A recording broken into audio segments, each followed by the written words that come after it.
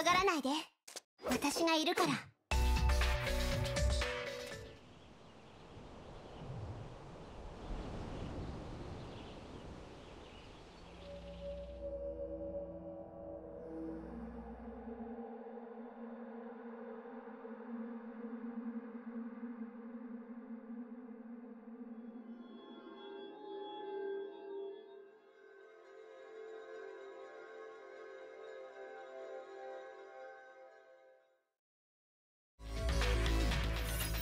キアナ少尉ニュージーランドに到着したわね。それじゃあ任務の説明を始めるわ。ちょっと待ってよ。この前の幽霊戦艦の解析結果が気になるんだけど。キアナ任務の遂行を優先しなさい。悪いニュースがあるわ。昨日ニュージーランドで強烈な崩壊が発生した。今そっちはゾンビと崩壊獣だらけよオセアニア支部はほとんど壊滅状態でデザイアジェムも崩壊の発生と同時になくなったわ。幸いハイペリオンの探索装置でデザイアジェムの位置は特定できるの。できるだけ早くそのジムを回収してきなさい。姫子デザイアジェムって一体何なの？14年前天命は3つの強力な崩壊エネルギーの結晶を手に入れたそのうちの1つがデザイアジェムだ3年前天命は極秘の研究計画を実行しその結晶を使って律者に匹敵する武装を開発しようとしていた残念ながら研究は失敗しそれ以来デザイアジェムはオセアニア支部で保管されていたが私が知っているのは以上よそういうことなら。急いで回収しに行こう。ティアナちゃん。姫子少佐からあなたが幽霊戦艦のこと気にしてたって聞いたよ。現在の解析結果を教えてあげようかおばさじゃなくてテレサちゃん。かわいい。今なんて言った？析結果によるとあの戦艦はそれまで完全に起動されていなかった全部で24機ある反重力エンジンのうち動いていたのは1機だけ武器システムは全てフリーズ状態関西武器が完全に起動した場合およそ1日で北米大陸を廃墟にすることができるみたい例えばハイペリオンに搭載されている崩壊炉の限界出力は1380崩壊ワットしてムーンライトスローンの崩壊炉の限界出力は1万2000崩壊ワット。実に面白い。今の天命の研究では1500崩壊ワットが限界なのよ。今のところ強度が1500崩壊ワットを超える崩壊エネルギー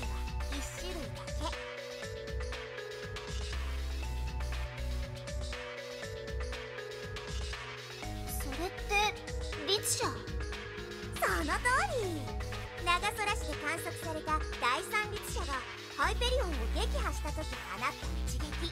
その崩壊エネルギーは3200崩壊ワット。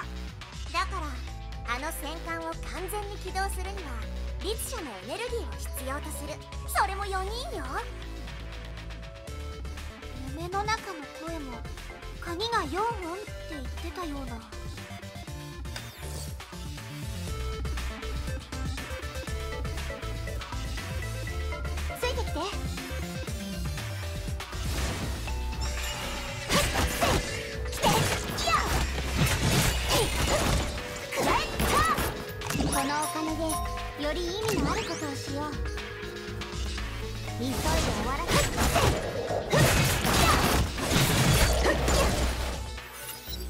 学園長。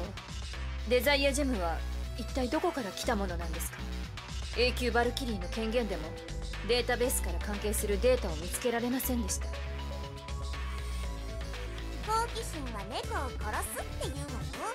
それでも知りたいの？もちろんです。可愛い部下たちが関わっているからにはたとえ学園長を脅迫してでも真相を知らねばなりません。仕方ない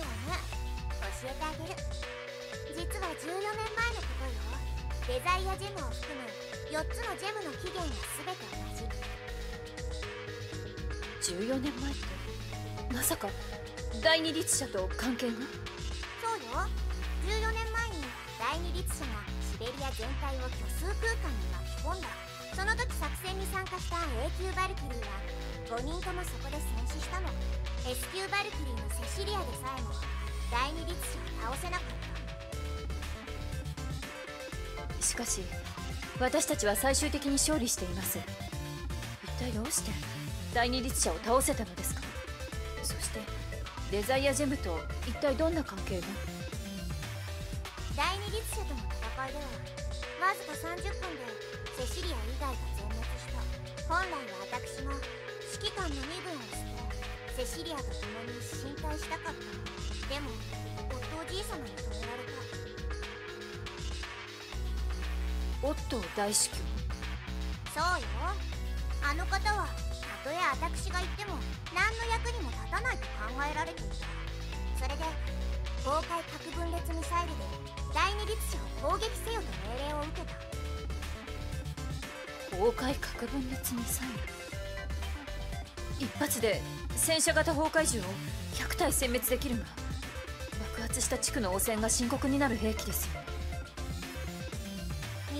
第二律者に全く効かなかった爆発する前に第二律者が全てのミサイルを虚数空間に転移させたのセシリアはその一瞬の隙をつき自らを犠牲にして第二律者のコアを破壊した。その後律者のコアが砕けて4つのジェムになったの。デザイアジェムは律者のコアの一部分だったのですね。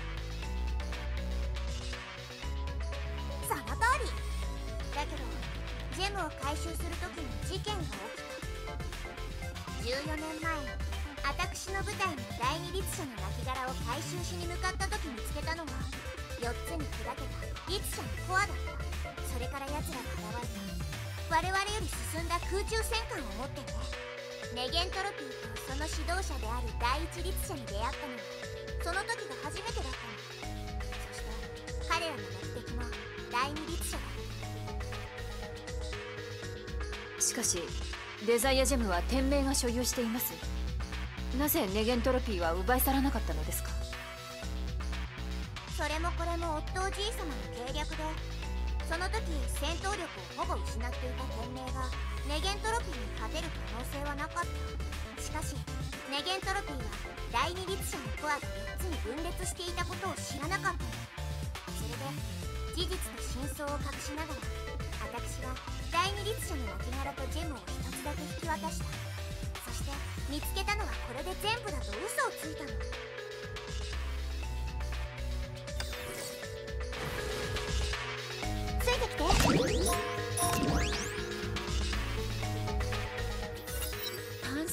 測装置に表示されているのはここねでも何も見えないわね。まさか位置特定システムのエラーかしら。ねえ姉様待ってください。どうしたの？ブローネちゃん。東側 50m に生命反応があるとセンサーに表示されています。東側？見えた。車椅子に座った女の子がいるわ。危ないから急いで助けないと。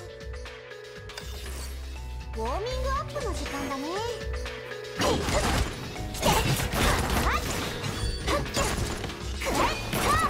このお金でより意味のあることをしようキアナ出撃準備。このお金でより意味目標を発見したようねトってデザイアチームで見つかったのは女の子ですよオセアニア支部からの情報によるとその子がデザイアジェムあの私はウェンディです。説明させて。3年前にオセアニア支部で行われていた実験でデザイアジェムがウェンディの足に移植されたわ。崩壊エネルギーの結晶を。彼女の硬い骨と結合させることで律者に匹敵するレベルの力を得られるのではと期待されていたわそう言われるとウェンディちゃんに巨大な力があるみたいだけど今の彼女には難しそうね。ウェンディは当時オセアニア支部で最も優れたバルキリーだった。この世界で4人目の S 級になれると期待されていたの。でも残念なこと。に彼女にもその力を制御できなかった。私の力不足でデザイアジェムを制御できなかっただけじゃなくてそのせいで両足とも動かせなくなって。どうしてこんなことになんで取り出さないのよ。これのせいでウェンディちゃんは車椅子生活なんでしょ？デザイアジェムは極めて不安定だけどウェンディの体内では安定している。わつまりてめえは結晶を保存するためだけにウェンディちゃんの体を器にしてるってこと？やりすぎだわ。ここでこの件を言い争っても意味がないわ。今はウェンディをハイペリオンに連れて帰りなさい。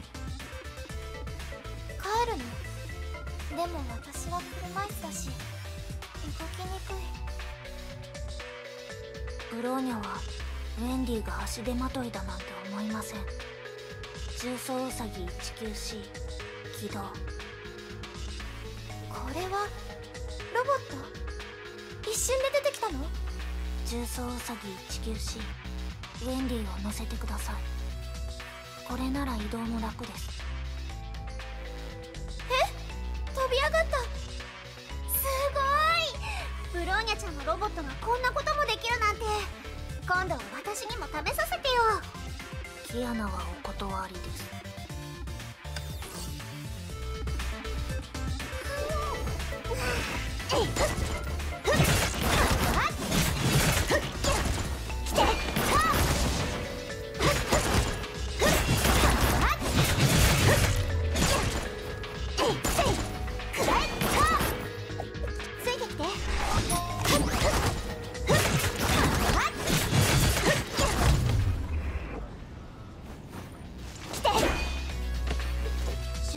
時間だよ。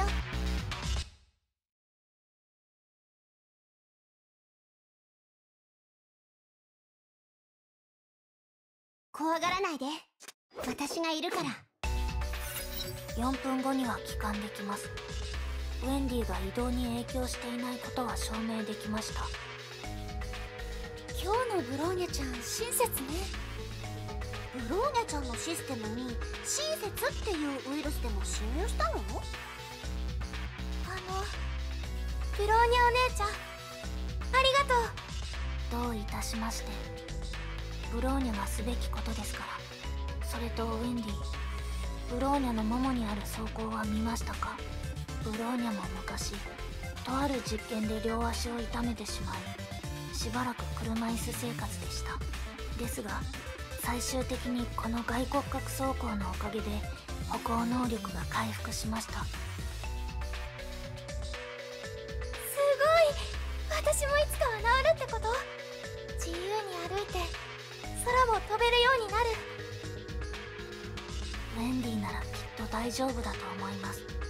聖フレイヤ学園に戻って足の崩壊エネルギーの結晶を取り出したらウェンディもきっと歩けるようになりますありがとう。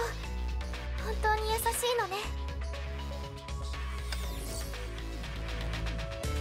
出発の時間だよ。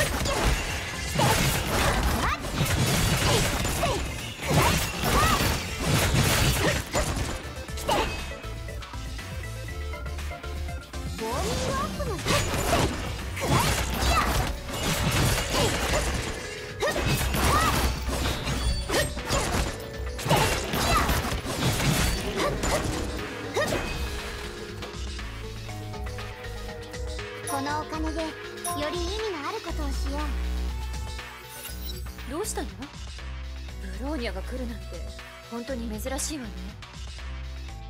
姫子少佐学園に戻ったらウェンディの崩壊結晶を取り除く方法を考えましょう。そうすれば彼女の歩行能力も回復するかもしれません。それは無理ね。デザイアジェムはウェンディの体内でしか安定しないから。取り出してしまったら結晶は保存できなくなるじゃあそんな化粧捨てちゃえばいいでしょ？まさか石ころ一つが女の子一人の幸せより重要だっていうの？デザイアジェムはただの石ころじゃないわ。結晶内の強大な崩壊エネルギーが解放されたら一瞬で何都市かが崩壊するけどそれでもいいの？でもキアナさんもういいの。とっくに受け入れたことだからバルキリーである私の職責は自分の命でより多くの人を救うこと。それが私の職責。急いで終わらせよ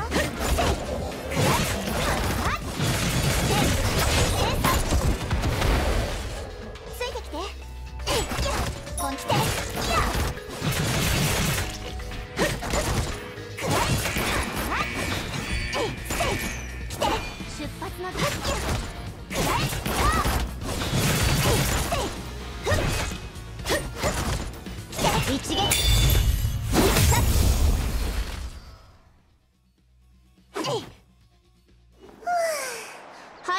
まだなの？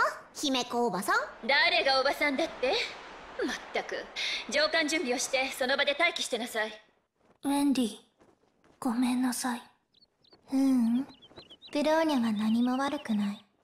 崩壊エネルギー反応検出ウェンディの体内にある。デザイアジェムの影響なのか？待って。反応がどんどん強くなっていく。崩壊指数15002000一体どうなってるんだ？崩壊指数2000かこれくらいあればハイペリオンも一撃で壊せるでしょ。ウェンディさん何を言ってるの？この偽善者ども。あなたたちが憎い。全てが憎い。みんなまとめてぶっ殺してやりたいほど憎い。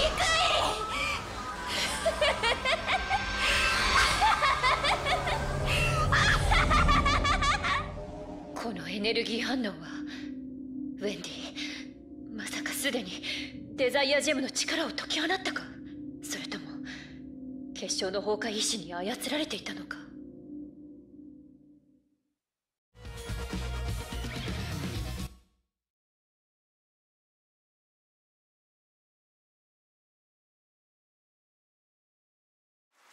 怖がらないで。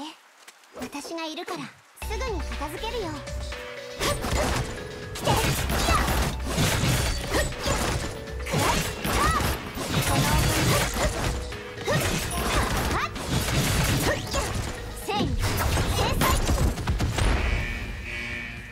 出発の時間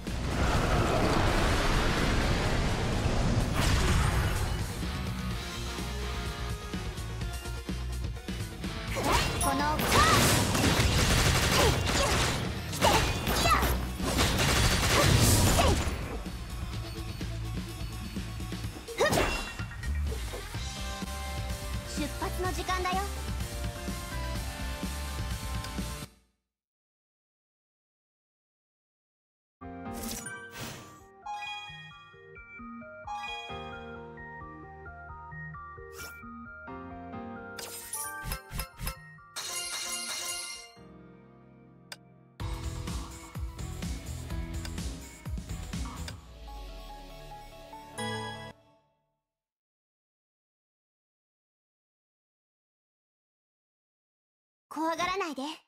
私がいるから。ウェンディ飛んでっちゃった。今は情報を早く本部に報告し S 級バルキリーを出動させて彼女を捕まえないと。ブローニャはウェンディが他人を傷つけることはないと思います。危険は犯せないのよ。彼女のエネルギーは律者に匹敵するのよ。それに彼女の人格も崩壊によってねじ曲げられている可能性があるの私もウェンディを信じるよ。長空市の時はメイ先輩も崩壊エネルギーに操られていたけど最終的には彼女自身の意志で崩壊に打ち勝ったでしょ？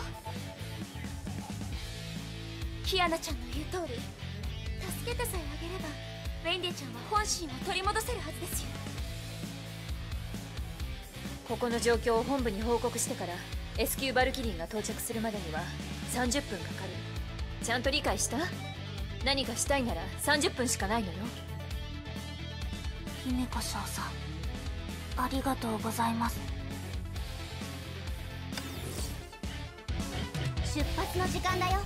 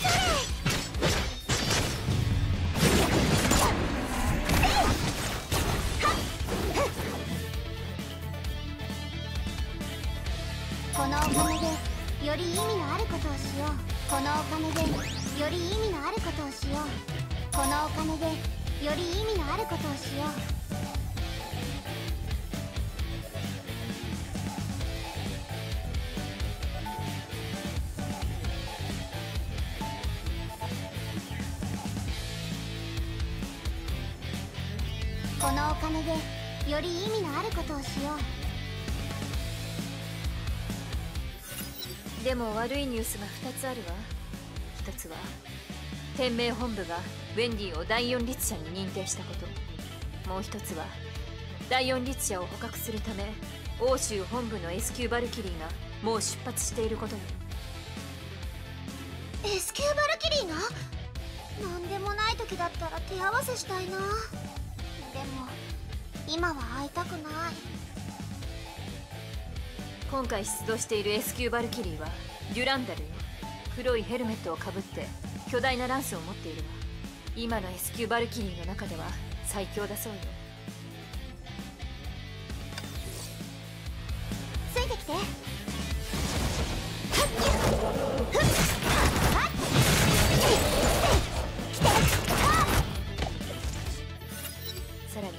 もう一つ悪いニュース。天命の衛星によるとついさっき5隻の空中戦艦が太平洋上空を横切るのが観測された。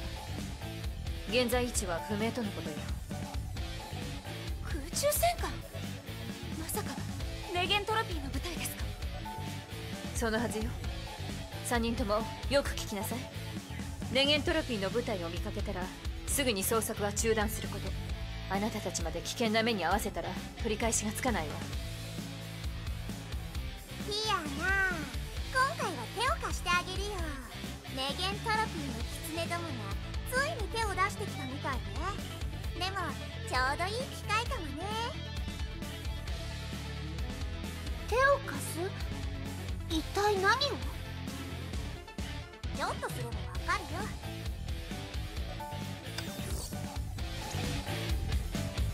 このお金でより意味のあることをしよう。急いで終わらせよう。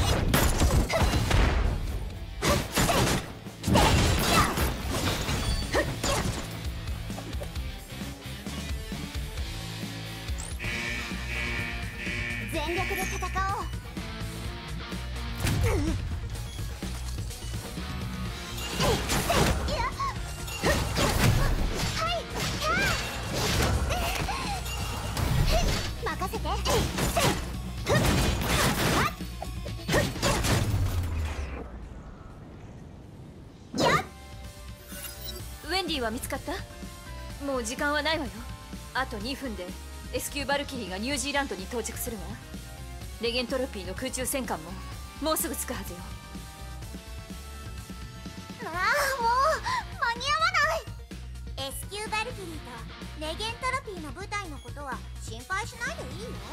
まさか学園長 S 級バルキリーの待機命令を出せるんですか？残念ながら私にその権限はないのよでも彼女たちの位置を知る権限ならあるよ。まさか。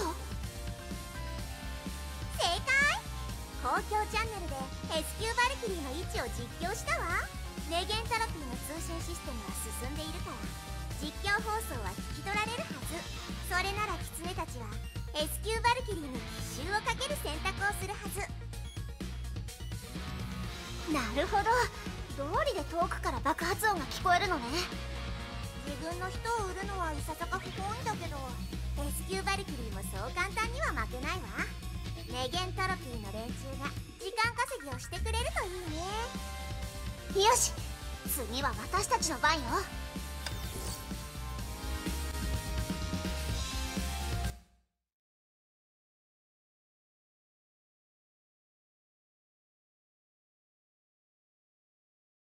怖がらないで。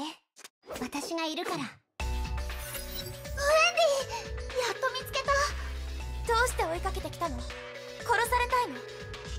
さっきは逃がしてあげたのに。まさか私を倒せるなんて思ってるの？ウェンディちゃんお願いだから一緒に帰ろう。ここはとても危険なの。天命本部から S 級バルキリーが捕まえに来るしネゲ S 級バルキリー？一者に匹敵するレベルの力を持つと称えられているバルキリーのこといいわ試させてもらう。私の力が S 級バルキリーを超越しているかどうか。あなた私より傲慢なのね。私とやり合おうだなんて。さっきはうっかりしてただけよ。本気を出したら律者を倒すなんて簡単なんだから。フローニャお姉ちゃんを悲しませたくないから。あなたたちとは戦えない。追いかけてこないで。また飛んでっちゃった。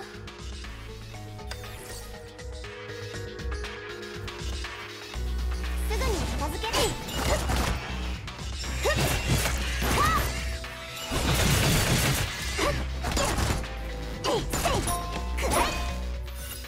先ほどデュランダルと通話したよ。どうでした？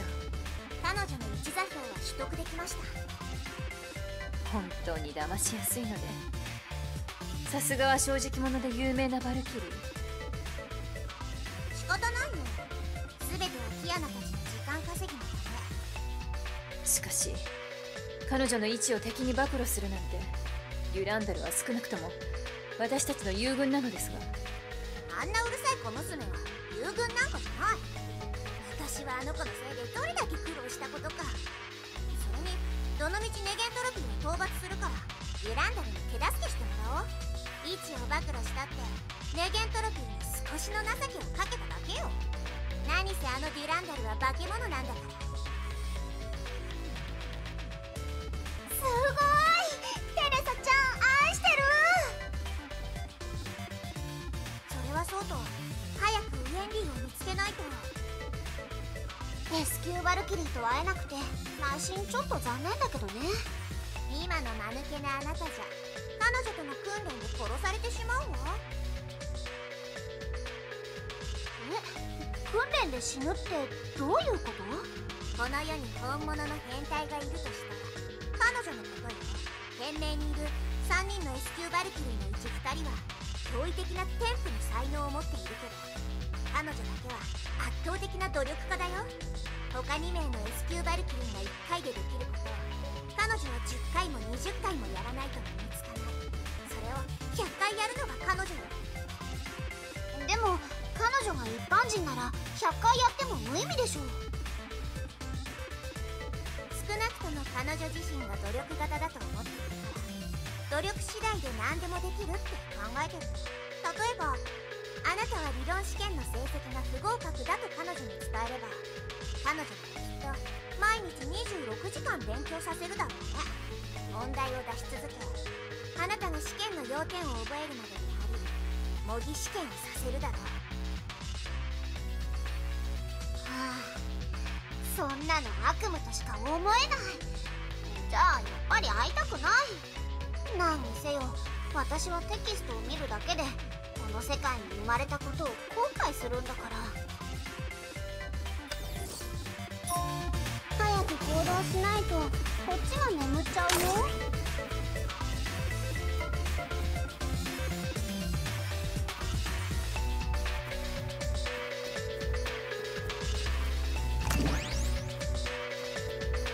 急いで終わらせよ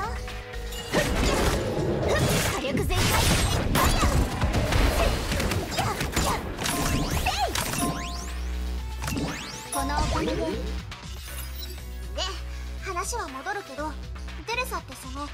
級バルキリーと仲がいいの？うーんそこまで親しくはないよ。た彼女が A 級バルキリーになりたての頃私の指揮下にあっただけ。それって親密な上司と部下の関係じゃないの？そこまで親密じゃないの。その言い方からして以前に何かあったの？ないの前に話したでしょ？あの S 級バルキリーは変態レベルの初めだって。うん。その真面目さゆえに私は息が詰まる思いだったの。彼女からすれば上司は軽々しく喋ったらダメだし昼夜問わずに仕事に専念しなきゃダメだって。私がちょっと休んだだけで半日ほど説教されたよ。聞いただけでも恐ろしい。私の上司が姫子のようないい加減な人で助かったよ。もしもし？今通信中なんだけど。でもその後やっと彼女に煩わされずに済む方法を見つけたのよ。方法？どんなそれは私個人の秘密よ。キーワードはローランド。彼女がうるさい時にはこの言葉さえ口にすれば静かになってくれるよ。来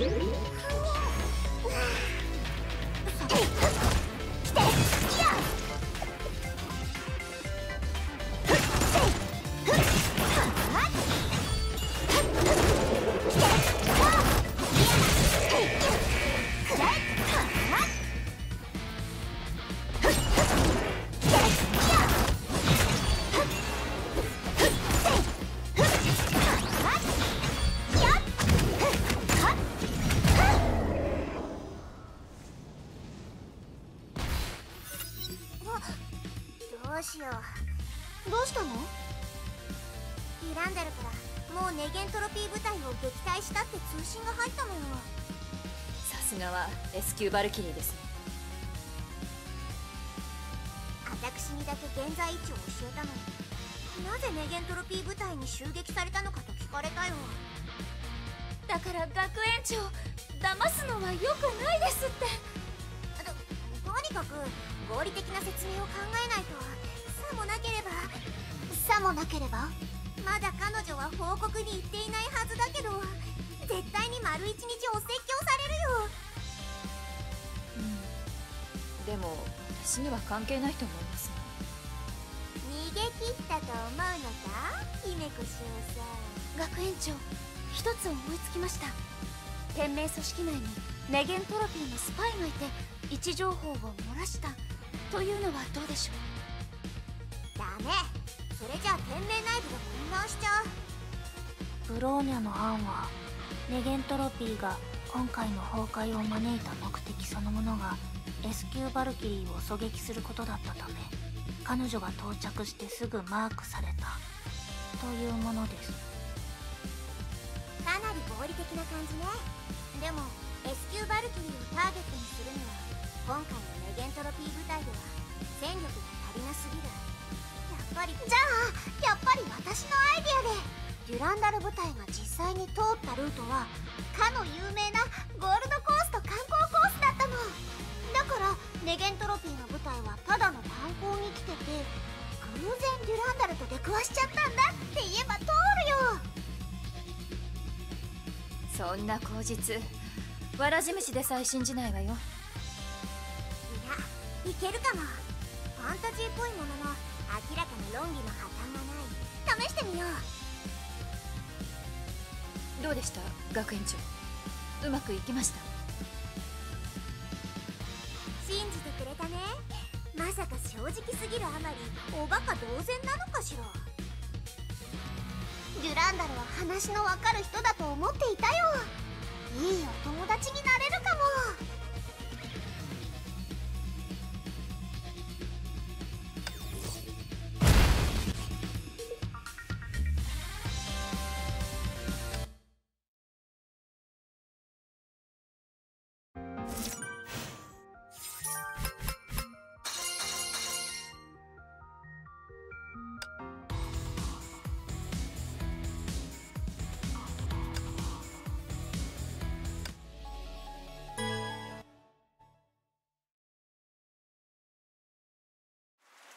怖がらないで。私がいるから。しつこい。それならあなたたちを懲らしめてやるわ。ふん。それはこっちのセリフよ。メンディちゃん。信じて。あなたは崩壊エネルギーに侵食されて自分を見失ってるだけよ。キアナ待ってください。ブローニャはウェンディと少しお話がしたいです。来ないで。嫌よ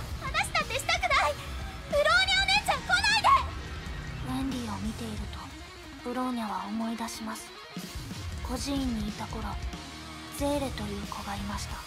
ゼーレはウェンディみたいに強くて優しい子だった。ゼーレも一度は崩壊に意識を操られましたが最後は打ち勝ちました。ブローニャが改造手術を受けた時も苦しかったんです。今でも。ですが一筋の希望さえあるなら前を向くべきです。ブローニャにはウェンディの苦しみが分かります。だからブローニャは苦痛に耐えているウェンディの強さもよく分かります。だから諦めないでください。ブローニャはずっと信じています。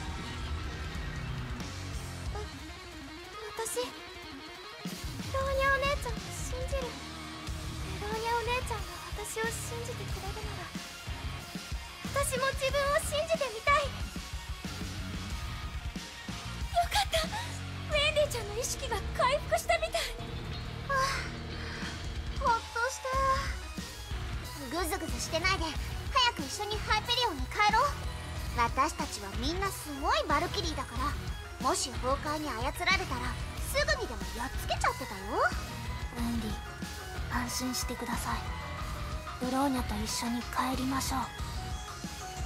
そうだブローニャお姉ちゃん。またあのロボットに乗りたいんだけどいいかな？いいですよ。重装ウサギ 19C 起動。ブローニャ親愛なる我が娘よ。今すぐ第四律者を回収しなさい。第四律者は重要な実験サンプルなのよ。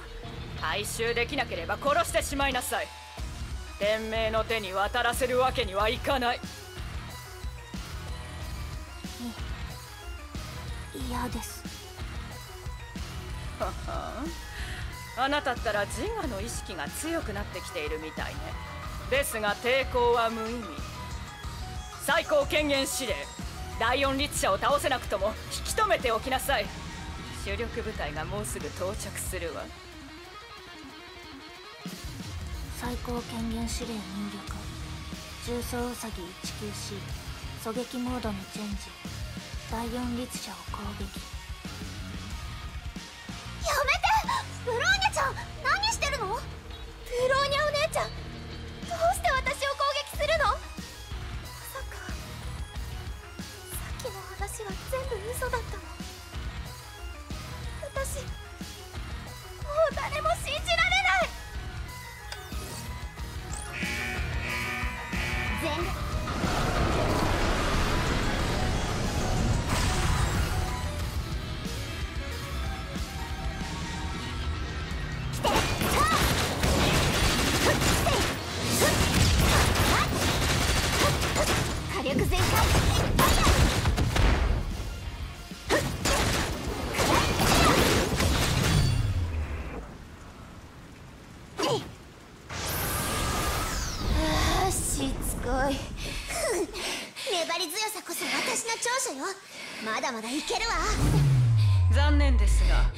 上は待てません。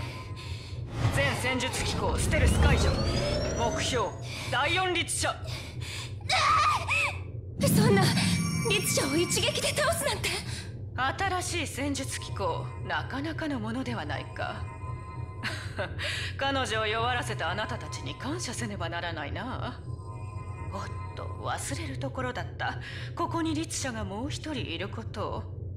ブローニャ我が娘よ第三律者を捕獲しなさい。何？はい。お母様。先輩ブローニャちゃん。どうして？ライデン・メイの捕獲完了しました。残り1名。周囲に天命部隊を確認。接近中です。ふん。命拾いしたな。全軍寄港せよ。メイとウェンディはネゲントロピーにさらわれてしまった。後から駆けつけた姫子はキアナしか救出することができなかった。食いながら聖フレイヤ学園に戻ったキアナはメイ救出作戦を練り始めた。